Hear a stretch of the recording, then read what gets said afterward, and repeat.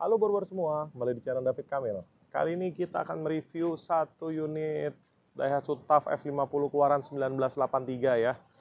Uh, mobil ini sudah direstorasi ya, jadi restorasi mesinnya itu overhaul mesinnya di, di bengkel AMS dan untuk restorasi bodinya di sebuah bilangan bengkel di daerah Pondok Cabe ya. Daerah Pondok Cabe dan bengkel cukup ternama ya. Nah inilah hasilnya warna Granada Red ya atau sering disebut juga merah Ferrari.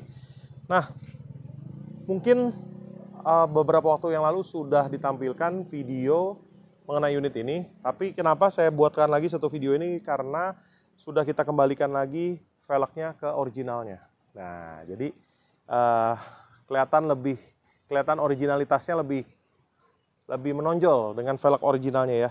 Nah, kelebihannya unit ini sudah restorasi bodi maupun mesin ya. Kemudian eh, sehat ya. Terus spionnya original, model tangkai ya, yang sudah cukup langka.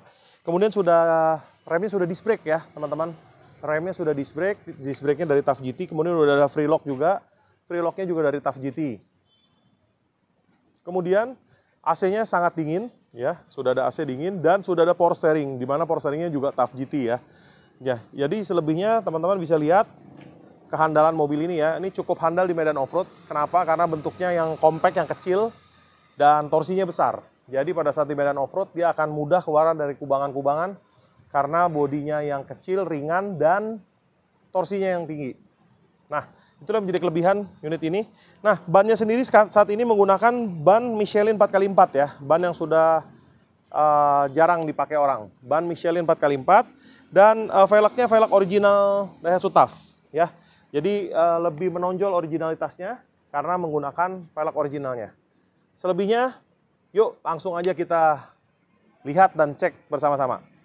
Dan buat yang tertarik jangan lupa langsung aja hubungi nomor saya 0818 980087 wilayah Jakarta Utara.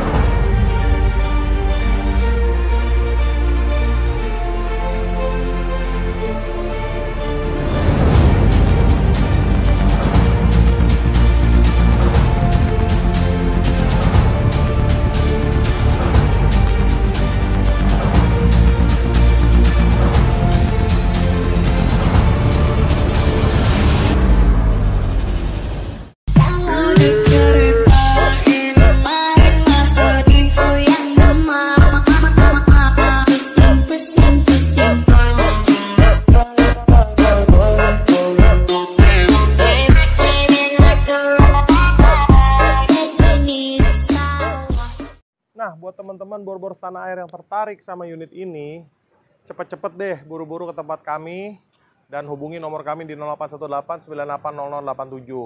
Kelebihannya apa sih unit ini selain bodinya bagus dan mesinnya sehat? Kelebihannya adalah masih satu nama dari baru di mana BPKB-nya masih BPKB bawaan lahir dan ada fakturnya. Ya, dan ini STNK-nya sudah diperpanjang ya, nopolnya baru, baru ganti platnya jadi STNK masih full satu tahun dan nopolnya masih lima tahun. Nah, mau cari di mana lagi Daihatsu TAF Kebo alias TAF F50 yang tangan pertama dari baru, BPKB bawaan lahir, nah cuma ada di sini. Ya, langsung aja 0818 980087. Sampai jumpa lagi.